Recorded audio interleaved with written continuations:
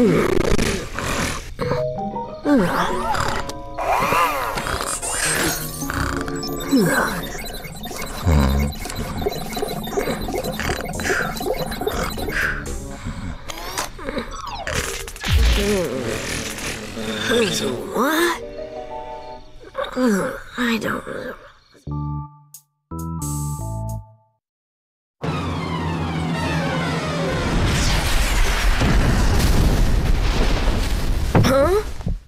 Good, you're awake. Something's crash landed over there in the canyon.